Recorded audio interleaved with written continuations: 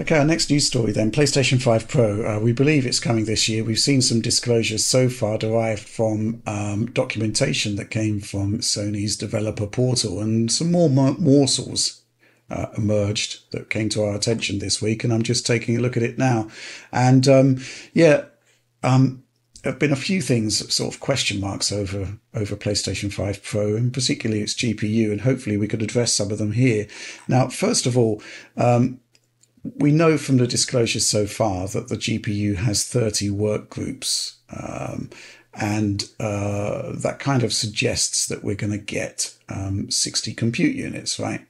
But there has been some people suggesting that it would have 56 compute units because it would have um, a greater degree of compatibility with the existing design for back compat purposes. And secondly, a reduced amount of compute units to reach the sort of advertised 33 teraflops, then um, it would actually mean a higher boost clock than than what we think it is, which what we think it is is 2.18 gigahertz based on 60 compute units. Um, so yeah, documentation has now emerged, which kind of clears up some of it. And the 30 work groups is confirmed, the WGPs rather, um, it is confirmed. Um, it's across two SEs and four SAs in an 8787 configuration. Um, and they actually have a direct comparison here with PlayStation 5, the standard PlayStation 5, as they call it, 18 WGP in two SEs, four SAs in a 5454 configuration. So, um, yes, I mean, at the base level, if Sony itself is confirming 18 WGP for PS5. That means 36 compute units, which in turn means 30 in 5 Pro, which means 60 compute units. So that's that sorted out. Um, there's also some new disclosures in terms of uh, the caches. The GL2 cache remains the same. Uh, GL1 doubles in size, 256K versus 128 on the standard PS5. Uh, and this is needed to support the fact that it's simply a much bigger GPU. Uh, interesting one here the GL0V cache doubles in size to 32K from 16K. Sony specifically says this is to allow for higher ray tracing performance. Now, something else which is quite interesting, which is the whole concept of the clock rate of the uh, GPU.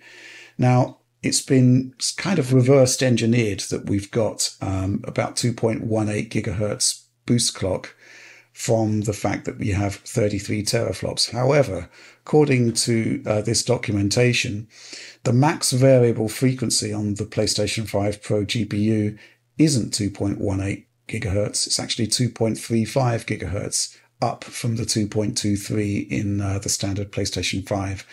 Um, which is incompatible with the 33 teraflop number. It should be more in line with like 36 teraflops.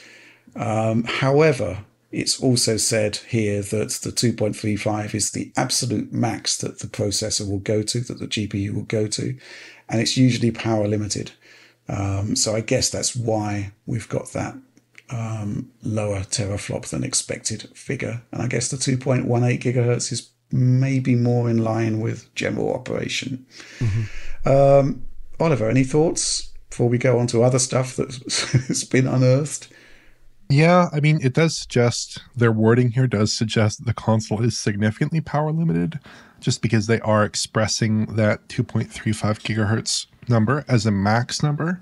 Whereas with PS5, they were very eager, I think, to say, hey, our uh, stated maximum clock rates, we're going to be there or thereabouts. Like, we're going to be pretty close in most titles. And certainly, I think what we've seen since then has indicated, like, yeah, those are maximum numbers, but you're getting, you know, pretty close those numbers in, in actual fact. So I think in this case, you're probably looking at a console that is, like, pretty power limited, maybe a little bit thermally limited, and just can't push to a super high frequency. But at the same time, you know, it it is a it is a higher frequency, and I guess theoretically it should be a 36 teraflop console in the FP32, I think, with this uh, clock bump in mind or thereabouts. But I presume they're just quoting typical numbers in that case because, yeah, otherwise it would be higher. Mm-hmm. Yeah. Anything to add, Alex? Uh, no, I just pretty much exactly what Oliver said, and I think, yeah, I'm very curious to see what this uh, power and perhaps thermally limited console looks like in the box because even the slim down PS5 is still really big. So I'm very curious to see what the box design is. Yeah, something else which came to uh, light is that um, if you're looking for like leaked photos of a PS5 Pro dev kit, well, you've already seen it. It looks identical to the PlayStation 5 standard dev kit. Mm-hmm. You know, that big V-shaped monster. The PS5 Pro dev kit looks exactly the same. It has the same casing. So yeah, now you know. Um, yeah, and it also says in um, in the disclosures that um, the GPU is usually power limited. And those higher frequencies, the 2.35 gigahertz, it is attainable, but only on very, uh, they call it a limited subset of games. So yeah, that's that's kind of indicating that it's sort of only going to be reaching that in extraordinary circumstances. That's quite interesting. But what also comes to light is the fact that, well, um, perhaps unfairly, the original PlayStation 5 GPU was called like RDNA 1.5. Uh, to be fair, it did seem to have a mixture of uh, features from RDNA 1 and 2, but it does look as though, just as a matter of course, the PlayStation 5 Pro GPU is getting more features. Um, Alex, you've seen this. What yeah. do you think of it? So, um, the thing that the documentation points out, and that we talked about one last thing, uh, I think it was like three weeks ago now, was that um, the PlayStation 5 Pro is going to support hardware VRS. And we've talked about VRS a lot on the channel, and its usage in games has been. I don't know. It's like both good and bad at the same time. Where it's a on PC games, it's been an option that you can select in a variety of titles, and I've either advised for it or against it, like in Starfield that we were just talking about. I think I said like on PC you can use it, but it was like purposely set up to be only maybe perhaps like a little bit of help for a couple of GPUs out there. And it wasn't set up in such a way to be visually noticeable.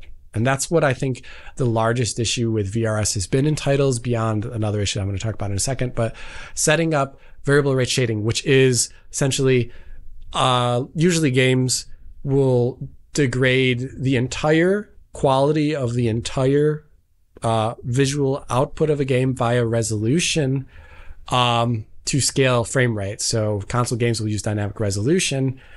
Uh, variable rate shading essentially allows you to control the quality, the coarseness of a shading of little tiles of the screen and have a greater control essentially of like when you want to have more performance you can degrade only smaller portions of the screen instead of the entire image. Now, that's a balancing act about how user noticeable it is. And due to like essentially you can, it's pretty easy to notice at times. And also due to the fact that a lot of games now use dynamic resolution coupled with things like FSR2. Um, it's maybe, you know, VRS, its usage hasn't been so great. Another aspect of VRS's usage not being so high as it potentially could have been is the fact that the PlayStation 5 doesn't support it. And a lot of, and like literally the PlayStation 5 is the de facto like AAA multi-platform target. Like if you're looking at it, like there's a lot of stuff that just goes in to make that PS5 version great. And if it, you need to spend more time like looking at something that only supports a certain subset of, you know, like Xbox and PC from RDNA 2 up or Turing up or Intel Arc up, well, then you're going to say, maybe we don't need this if it's not going to give us great visual or performance wins and it's just like a nice plus. So I think that's limited VRS to a certain degree. Uh, here, now that PlayStation 5 Pro supports it, I actually do think we could see more VRS implementations in games because, well, if you're going to offer support for it and there's slightly, you know, like it's the PlayStation 5 Pro GPU isn't so much like so radically large in comparison to the base PS5 one. This will be another thing that they can add on top of it uh, to, you know, extract more performance and get greater differences in visuals and quality between it and the PlayStation 5. So it's like I could imagine uh, this being added into a number of titles actually as a result of that. And then maybe being supported on other platforms. Sometimes we've seen VRS added to games uh, on like on console, but not added on PC. I think Doom Eternal is a really great example of that, where they ship it on console, but they don't ship it on PC yeah. for Xbox. Mm-hmm. Uh, so yeah, but uh, there's a couple other things in here that I want to talk about. Um, the the sheet mentions changing like the pixel center position for VRS is an, an addition to something that uh, is not natively supported via the API on DX12's VRS tier two. And that's like kind of true and kind of not true at the same time. Uh, because Intel has talked about it a lot in the past, actually, that you can just kind of like jitter the entire screen and make it so that TAA amortizes the uh, degraded shading over multiple frames from VRS. And that'll make it so that a problem with VRS, and John pointed out this, I think in his original like Doom Eternal video, even though I think that's like one of the better implementations, is that when you do notice this degradation from VRS, it looks almost like an integer scaled subset of pixels. So it kind of looks like, it looks like unfiltered textures from a really old game. And I think it can be distracting. There's been issues also in games like, was it Cyberpunk 2077? Dead Space was bad. Dead Space was Dead Space is a really good example of VRS not showing up well, particularly bad on PS5, but I would also say not great on Xbox Series X. And I found it like dubious on PC.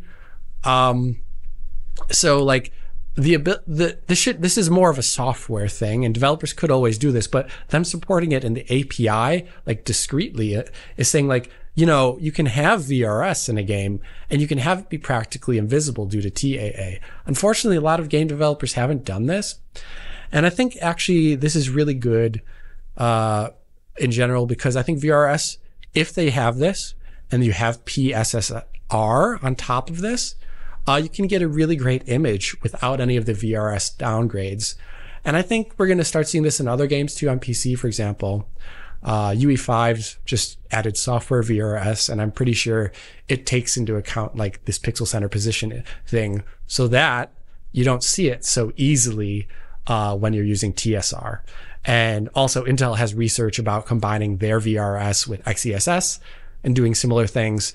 Uh, so that's all great. Uh, I guess another thing I guess kind of of mention is that uh, they also mention being able to use it to have like a variable MSAA rate for a game, and this is technically something that exists since a long, long time, but it's not like explicitly exposed. Uh, and them supporting it directly in the API could lead to some novel use cases of games that support MSAA and using it for certain things. Like I could imagine it being used for like transparencies or in VR games potentially. So you could have like a PlayStation 5 Pro VR game having unique image quality characteristics, uh, even, gr- you know, even better than what you see on PlayStation 5. Uh, mm. yeah, I guess that's really all I have to say about VRS. Do we want to move on to the, the next bit? Yeah, let's move on to the next bit. I'm going to go to you again on it, Alex, because okay. uh, it is this kind of um, it's kind of like a hangover from PlayStation Five that it didn't have the full Direct DirectX 12 feature set. Obviously, mesh shaders was a part of that. It did have primitive shaders, which was kind of like a sort of precursor, I guess, to mesh mm-hmm. shaders. Um, RDNA one, we we think that's where that particular thing comes from. But it does look as though PS5 Pro does have full mesh shader support now. Yeah.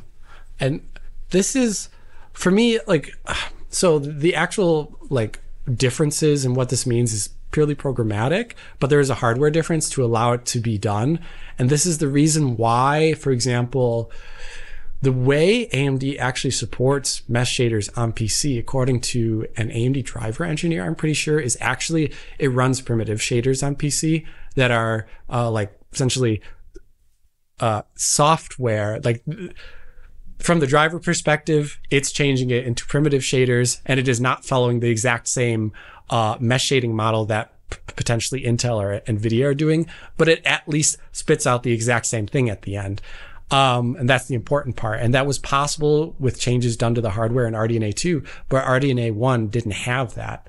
Um, so that allowed things like the amplification stage being done. I think actually it's still done with a compute shader, like just a normal compute shader in RDNA 2, but that's all done the, at, at the driver level. And this is great, I think, because right now we're getting to uh, the mid gen time and we are only now seeing the first implementations of mesh shading. It's like two titles. I mean, you well, got Alan Wake. What's the other one? uh, technically on console. Final uh, Fantasy Seven Rebirth does uh, primitive shaders. Oh, that's another one I didn't think about. Yeah, But that one is, I don't know. That's like a more dubious visual example of it. I I don't know. Like when I think about that game, I don't think of like super hardcore like geometric complexity on like smaller objects. So it's a little bit awkward. Um, also, technically, Avatar on console uses primitive shaders, and also on Xbox mesh shading. Uh, on PC, they don't. And uh, I think like now we're gonna start see what people can really do with them, and we're gonna only start seeing like things like Frostbite titles. Um, they mentioned in those what is it called Rex engine now Resident Evil's Reach for the Moon engine the the addition to it RE Engine. The RE engine, yeah, like they have like a slightly different name for the RE engine right now ever since they upgraded it. I forget the name of it, but uh, they mentioned they're doing mesh shading uh, for future titles, like they're doing the research on it now, and I think that's where we're going to start seeing larger differences between the visuals of previous gen games and current gen games. And Alan Wake 2, I think, was a great example of that. Like, if you look at it, the only thing that I think that separates it from like the visual quality of Nanite is the fact that it still has discrete level of detail quality. So you can see things um, like snapping. But like when you go right up to like any of like the control panels or the little cups or anything in Alan Wake 2, it's like super high quality. Uh, and I think that's stuff we're going to just see for the future games. And I, I'm excited for PS5 Pro supporting it because hopefully it means then there's a greater base to support it elsewhere too, Xbox, PC included. Mhm. Cool. Um, any final thoughts, Oliver? No, I think it's it's interesting. It kind of sketches out a future where the PS5 at least has the RDNA 2 feature set in, in this regard. I guess it doesn't really ferret out exactly where the PS5 Pro sits on the, you know, is it RDNA 3, is it RDNA 4, is it RDNA 2, where it exactly sits in that hierarchy. It's just saying that it's getting these features. Um, Another concern of mine is that the PS5 still doesn't have this functionality or has this functionality to a more compromised extent. So, exactly what this means for cross platform development, I'm not sure it means a great deal because you're still having to deal with that PS5 as your baseline system. You know, it's not an ideal situation where the largest selling console is still at a degraded level uh, of the feature set. Yeah, I think it would have been useful for basically the you know commonality in the feature set across all of the consoles, just you know to make sure that those good features are used. But I guess developers have managed to work their way around it in Alan Wake 2 and Avatar. So, well, I guess we just have to see what happens with the PS5 Pro and the extent to which these features are actually common, you know, used more commonly. Because ultimately, there is still going to be a huge amount of PlayStation 5s out there. It just kind of makes sense to target that feature set.